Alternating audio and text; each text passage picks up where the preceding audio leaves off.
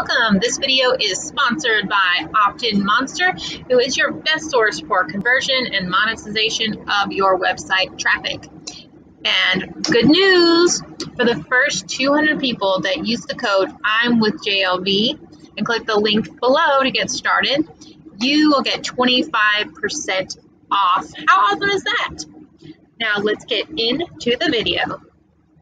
So let's get into it. So I wanted to work with my blog post that I did on this uh, because I think it's um, really helpful to have some visuals here. And you can always hop over to my blog post, which you can see in the description below.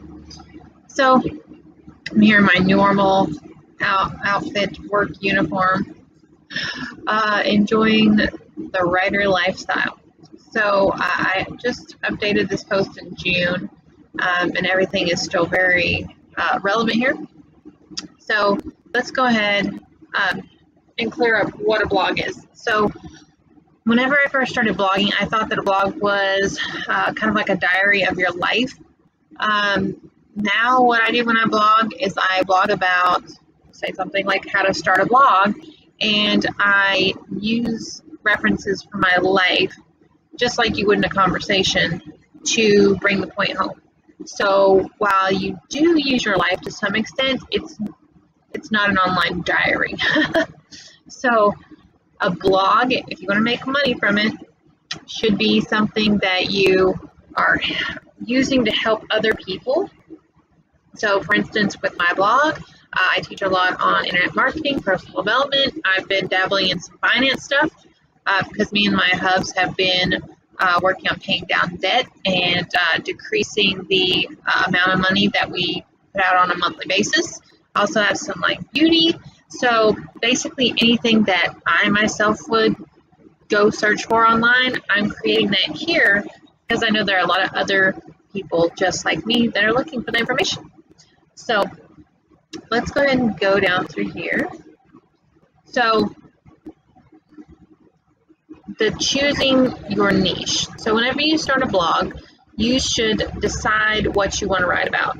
And I've seen a lot of things that say that you should only write about one thing um, because it helps people know you for something, right?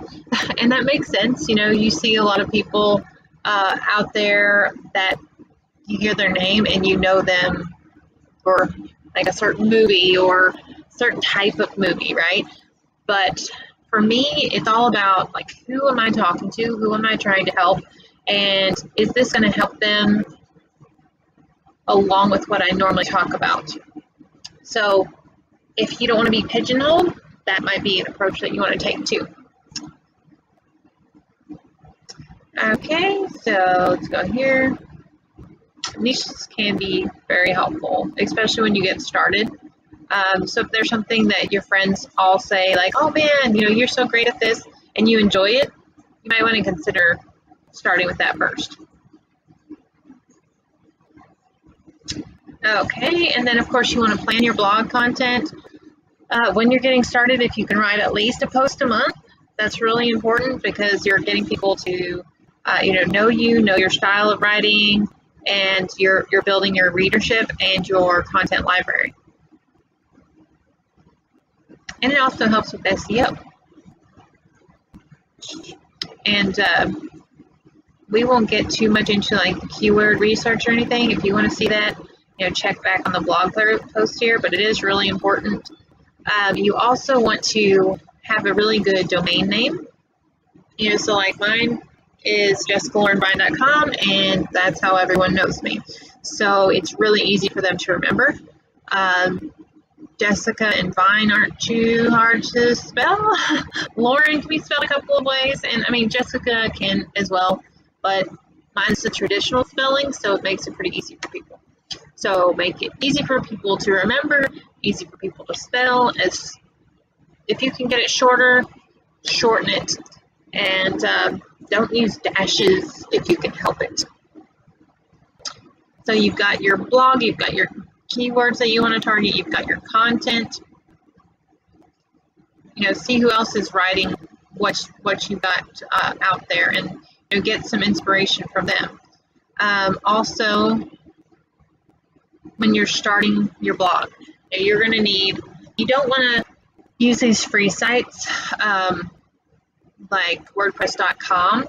You want to use WordPress.org and self host it.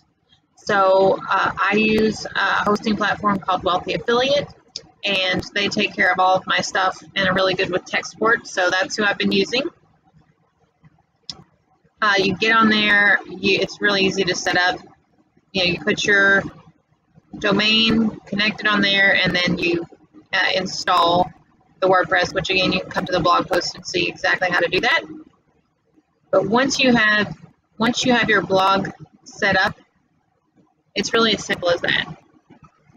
Don't overcomplicate it and just get started because I can tell you that blogging has opened up so many opportunities for me and I really think everyone that wants to should have a blog because if you talk to people and you tell people about products or services or things like that, and you have a blog post that you can refer them to and you have an affiliate link there or something like that, that will be able to be another income stream for you.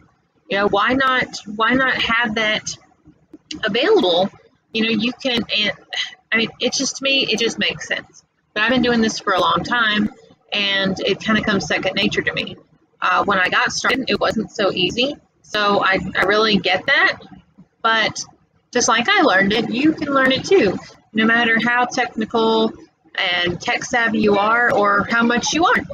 So if you want to read more on the blog, I've got it down in the description and um, get started guys. Leave a comment below and let me know how it's going.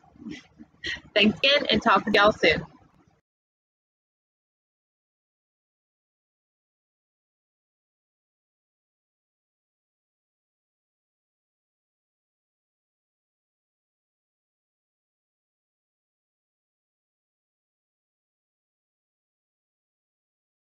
Thanks for watching. This video was sponsored by Opt-in Monster, where you can convert and monetize your traffic as well as grow your email list. Don't forget, the first 200 people that use the coupon code I'm with JLV get 25% off. Click on the link below.